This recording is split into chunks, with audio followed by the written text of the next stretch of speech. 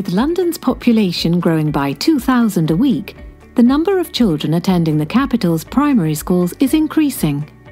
To accommodate this rising number, Wandsworth Borough Council has invested £10 million into permanently expanding 11 of its primary schools.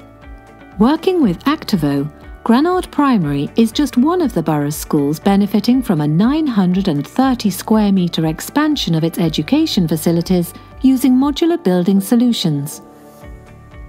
Using building information modelling, a 3D digital model showing the entire life cycle of a building from its conception to demolition, and a fly through computer generated image, the leadership team at Granard Primary School was able to see their ideas visualised into a realistic building graphic before construction even started. Speed was essential, with the building taking just 22 weeks to construct on site. The £1.9 million two story standalone classroom complex is made up of 54 modular units to create seven classrooms, open learning studios, cloakrooms, toilets, kitchen facilities, and staff rooms.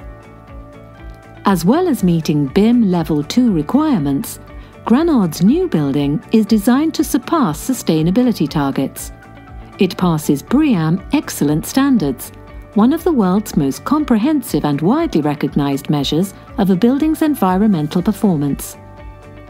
Eco friendly, bespoke, and sustainable materials have been installed at the new facility, including monocrystalline PV panels, wind catchers, and sun pipes. Modular buildings provide modern, comfortable, and highly functional facilities. Their innovative design means they can be adapted and expanded to meet very specific and individual project requirements. All Granard's modules were pre-fitted with electrics, plumbing, heating, doors, windows and internal finishes before leaving the factory. Each module was then delivered to site where they were simply craned onto prepared foundations.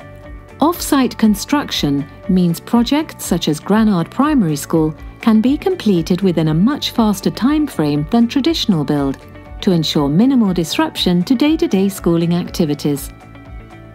There is a definite need for speed within the education sector, which has been fueled by a sharp rise in demand for school places it took just 22 weeks from conception to completion to expand Granard Primary School's accommodation.